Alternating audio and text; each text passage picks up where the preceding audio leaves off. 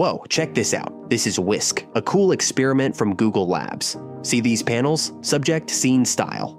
Let's build something awesome. First, subject. Hit plus, type, an old man wearing a blue suit and a straw hat.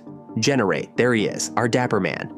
Okay, subject done. Now for the scene. Add a cool beach pier. Awesome. Next style. Let's pick this awesome claymation look. Click. Style selected. Whisk mixes it all. Subject scene style. Bam. Four versions pop up. Let's add something extra. Typing, the man is holding ice cream. Hit the arrow. Look, it updated. Now he has ice cream in every style. Photorealistic, pixel art, anime, and claymation. How cool.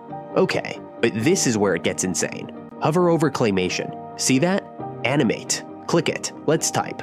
The old man happily eats his sweet treat. Hit the arrow. Your video is cooking. The AI works its magic, 100%. Check it out. He's actually animated, standing on the pier, happily eating his ice cream, the little lick and smile. Incredible. But hold up, it gets better. Remember those other styles? That same animation command applied to the pixel art version, and the anime version, and the photorealistic one too. He's eating ice cream in all of them, perfectly matching the style. Mind blown. So just like that, from a few clicks and prompts, we've got four different animated clips, ready to go. Seriously, how cool is this? That's Whisk Animate, an experiment you gotta try.